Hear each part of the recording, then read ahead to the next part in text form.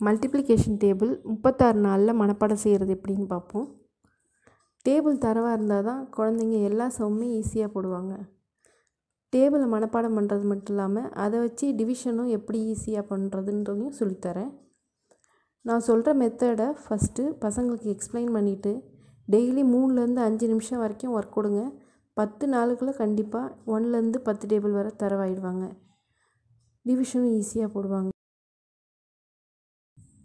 ஒன்லேருந்து ten table வரை hundred line இருக்கும். அதில் ஒன் டேபிளும் டென் டேபிளும் படித்து மனப்பாடம் பண்ண வேண்டாம்.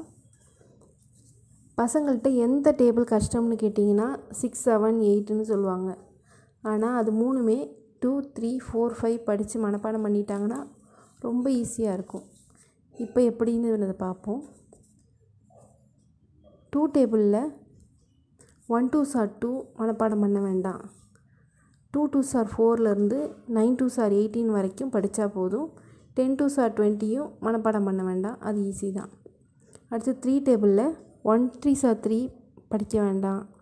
Two three are six two டேபிள்லேயே three two are சிக்ஸ்னு ஏற்கனவே படித்து மனப்பாடம் பண்ணியாச்சு. அதனால three three are நைன்லேருந்து nine three are twenty seven வரைக்கும் படித்தா போதும். டென் த்ரீ சார் தேர்ட்டியும் வேண்டாம். அடுத்து ஃபோர் டேபிளில் ஒன் ஃபோர் சார் ஃபோர் மனப்பாடம் பண்ண வேண்டாம். டென் ஃபோர் சார் ஃபார்ட்டியும் மனப்பாடம் பண்ண வேண்டாம். டூ ஃபோர் சார் எயிட் ஏற்கனவே நம்ம டூ டேபிளில் ஃபோர் டூ சார் எயிட்டுன்னு படித்தாச்சு அடுத்து three four are twelve three டேபிளில் ஃபோர் த்ரீ சார் டுவெல்னு ஆல்ரெடி படித்தாச்சு ஸோ அதுவும் மனப்பாடம் பண்ண வேண்டாம். Four four sir சிக்ஸ்டீன்லேருந்து nine four are thirty six வரைக்கும் படித்து மனப்பாடம் பண்ணால் போதும். அடுத்து ஃபைவ் டேபிளில் ஒன் ஃபைவ் சார் ஃபைவும் டென் ஃபைவ் சார் ஃபிஃப்டியும் படித்து மனப்பாடம் பண்ண வேண்டாம். Two five are ten five two are ten already two டேபிள்லேயே மனப்பாடம் பண்ணியாச்சு. அடுத்து three five sir fifteen five three சார் ஃபிஃப்டீன்னு த்ரீ டேபிள்லேயே மனப்பாடம் பண்ணியாச்சு. அடுத்து four five are twenty four டேபிளில் ஃபைவ் ஃபோர் சார் டுவெண்ட்டின்னு ஏற்கனவே மனப்பாடம் பண்ணியாச்சு. இப்போ ஃபைவ் ஃபைவ் சார் டுவெண்ட்டி ஃபைவ்லேருந்து nine five are forty five வரைக்கும் படித்தா போதும். அடுத்து சிக்ஸ் டேபிளில் ஒன் சிக்ஸ் ஆர் சிக்ஸும் டென் சிக்ஸ் ஆர் சிக்ஸ்டியும் படிக்க வேண்டாம். Two six are twelve two டேபிளில் சிக்ஸ் டூ சார் டுவெல்னு படித்தாச்சு three six are eighteen three டேபிளில் சிக்ஸ் த்ரீ சார் எயிட்டீன்னு படித்தாச்சு four six are twenty four six four are twenty ஃபோர்னு four டேபிள்லேயே படித்தாச்சு five six are thirty six five are தேர்ட்டின்னு five டேபிள்லேயே படித்தாச்சு இப்போ six six ஆர்லேருந்து thirty சிக்ஸ்லேருந்து nine six are fifty four வரைக்கும் படித்தா போதும். பார்த்தீங்கன்னா ஃபோர் லைன் தான் சிக்ஸ் டேபிளில் படிக்க வேண்டியிருக்கும். அடுத்து செவன் டேபிள் பார்ப்போம். செவன் டேபிள் சிக்ஸ் டேபிளை விட ரொம்ப ஈஸி மூணு லைன் படித்தா போதும். ஒன் செவன் சார் செவனும் டென் செவன் சார் செவன்ட்டியும் படிக்க வேண்டாம். Two seven three seven four seven five seven six seven எல்லாமே ரிப்பீட்டடாக ஏற்கனவே two three four five six டேபிளில் படிச்சிருப்போம். அதனால seven seven are forty nine eight seven are fifty six nine seven are sixty three. இது மூணு லைன் மட்டும் படித்தா போதும். அடுத்தது எயிட் டேபிள். எயிட் டேபிள்லேயும் பார்த்தீங்கன்னா இருக்கிறதுலே கஷ்டமான டேபிள்னு கேட்டிங்கன்னா எயிட்டுன்னு சொல்லுவாங்க பசங்க. ஆனால் அதில் படித்து மனப்பாடம் பண்ண வேண்டியது பார்த்திங்கன்னா டூ லைன் தான். எப்படின்னா ஒன் எயிட் சார் எயிட்டும் டென் எயிட் சார் எயிட்டியும் படிக்க வேண்டாம்.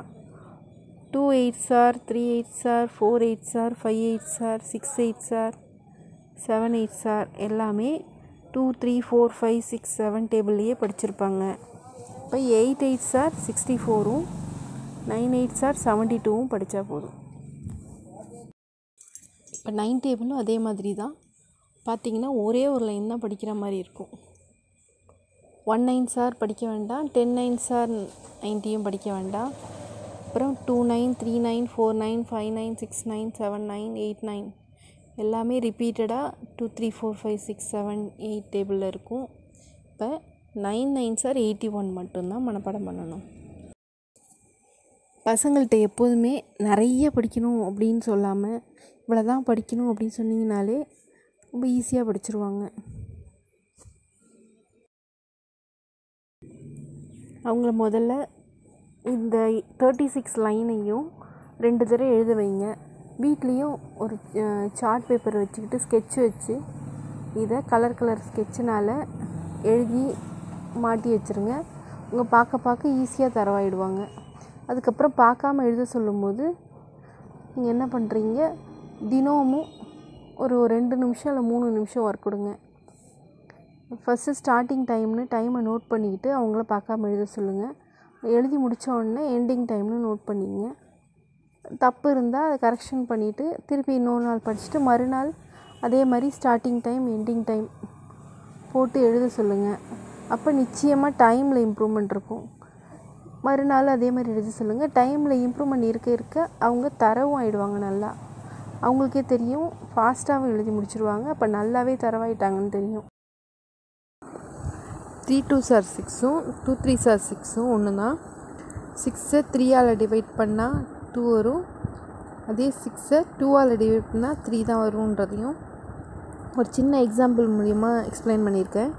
இது நீங்கள் வீட்லேயே பிள்ளைங்களை ப்ராக்டிக்கலாக சும்மா ஏதாவது பீட்ஸ் வச்சு நிறைய சம்ஸ்அப் எக்ஸ்பிளைன் பண்ணி காமிச்சிங்கன்னா மல்டிப்ளிகேஷன் டிவிஷனோட கான்செப்ட் நல்லா புரிஞ்சுப்பாங்க.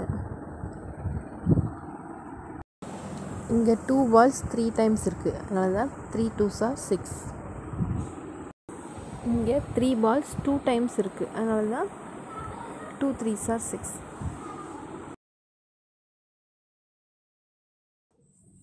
இங்கே சிக்ஸ் பால்ஸ் இருக்குது அதை த்ரீ பாக்ஸில் பிரிக்கணும் பிரித்தா டூ டூ பால்ஸ் வரும். அதான் சிக்ஸ் டிவைடட் பை த்ரீ வந்து டூ அப்படின்றத எக்ஸ்பிளைன் பண்ணிடுங்க.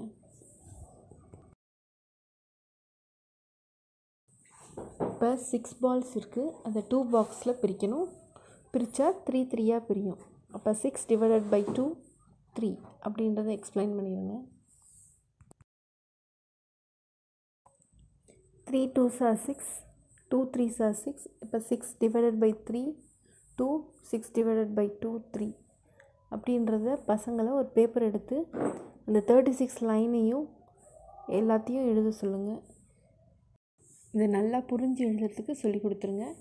இது மாதிரி அவங்களே எழுதி முடிச்சிட்டாங்கன்னா டேபிளும் தரவாயிட்டாங்கன்னா இனிமேல் மல்டிப்ளிகேஷனும் சரி டிவிஷனும் சரி சிம்பிளிஃபிகேஷனும் சரி. எல்லாமே நல்லா தரவாயிடுவாங்க நல்லா பண்ணுவாங்க. தேங்க்யூ ஃபார் வாட்சிங்